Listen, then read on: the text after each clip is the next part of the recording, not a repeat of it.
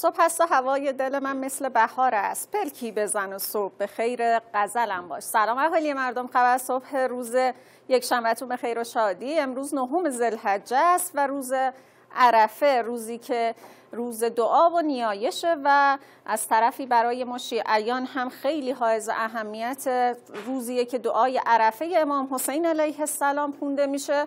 و اینجا هستش که امام حسین علیه السلام حج رو نیمه کاره رها می‌کنن و برای سفری بزرگ و تاثیرگذار راهی کربلا میشن. کاربر فضای توییتری با هشتک عرفه به استقبال این روز رفتن و متها و تصاویر خودشون رو منتشر کردن که من چند تا از اونها رو براتون می‌خونم. عرفه هنگامه بارش است و باز چشم ها دخیل آسمان. ظرف خالی بیار تمام زمین عرفات می شود هشتگ عرفه. کاربر دیگه هم یکی از توصیه های مقام معظم رهبری رو در رابطه با روز عرفه مطرح کرده و گفته که روز عرفه را قد بدانید. از ظهر عرفه تا غروب عرفه ساعات مهمی است. لحظه لحظه این ساعات مثل اکسیر مثل کیمیا حائز اهمیت است. هشتگ عرفه. کاربر دیگه ای هم در مورد یکی از حالا فضائل این روز می نوشته و گفته که اگر سه شب سه شب قدر رو از دست دادید روز عرفه رو دریابید که در روایات مختلف ما این موضوع رو داشتیم و بهش اشاره شده. و کاربر دیگه ای هم یک موضوعی رو نوشته که جالب بود گفتم براتون بخونم. یه روز جایی بودم. در خلوتی نوایی گوش می‌دادم. یکی گفت حاج آقا اینو گوش میدی؟ یعنی عاشق شدی؟ دیگری گفت حاج آقا عاشق خدا هستن. گفتم اونم جای خودش. اما باید رو زمین هم عشقی داشته باشی. بزرگی گفت دلی که عاشق نباشه دل نیست. عرفه التماس عاشقانه.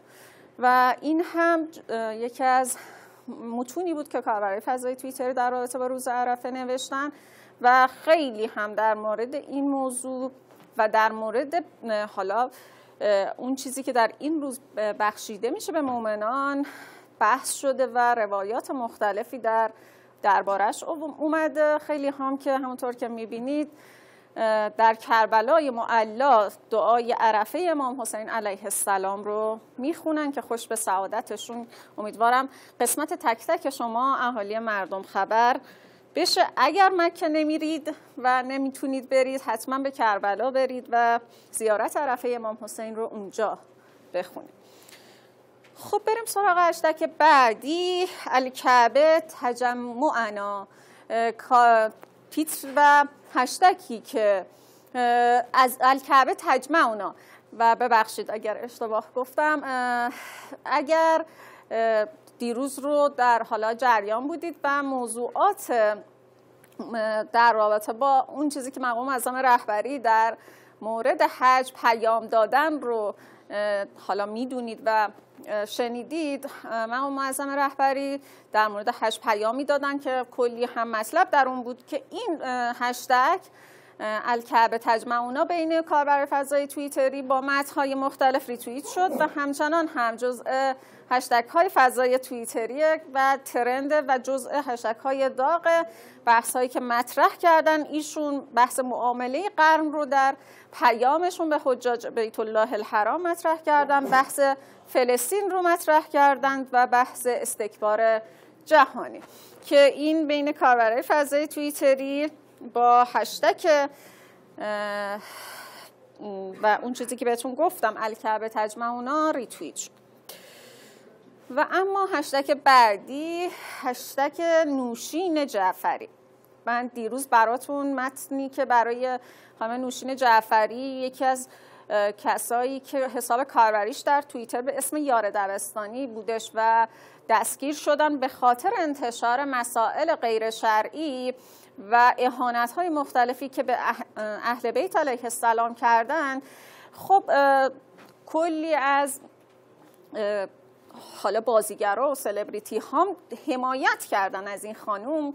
از جمله اونها خانوم افشار بودش که حمایت ایشون از این خانوم نوشین جعفری که با توجه به سبقه ای که از ایشون خوندیم کاملا معلومه که ایشون جزء کسایی هستن که براندازن و توی خود هشتگ هاشون هم در صفحشون آورده بودن. حالا این صحبت خانم مهناز افشار باعث شدش که کاربر فضای توییتری بهش واکنش نشون بدن. که خانم افشار در مورد ایشون نوشتن که برای من همیشه او یه دختر مهربون عکاس خوب بوده. کاش در عجله کردن هامون کمی ترمز می‌کردیم و انصاف رو رعایت می‌کردیم. که این صحبت خانم افشار کلی واکنش. داشت در فضای توییتری از جمله اینکه نکنه خانم افشار در نقشه منفی فرو رفته. این چه سری هست تا یه مجرم امنیتی اعتقادی بازداشت میشه؟ مهناز افشار شروع می‌کنه به توییت زنی. کاش این بازیگر در درجه اول تکلیف حمایتش از قاتل قاتل رو مشخص می‌کرده از قاتل طلبه رو که اون هم برمیگرده به اون طلبه ای که حالا به شهادت رسید. کاربر دیگه هم نوشته هر جا رد پای متهمان پرونده های امنیتی حتاکان مذهبی معترضان خیابانی قاچاقچیان دزدان متجاوزان به نوانیست نوامیست و خلاصه هرچه داستان دار هست نام مهناز افشار میدرخشه. بزرگوار به تنهایی تونسته رکورددار باشه. که این هم بخشی از حالا اون بازخوردهایی بوده که خانم افشار نسبت به خانم نوشین جعفری نشون داده از خودش که این هم در بین کاربرای فضای توییتری ریتوییت شد.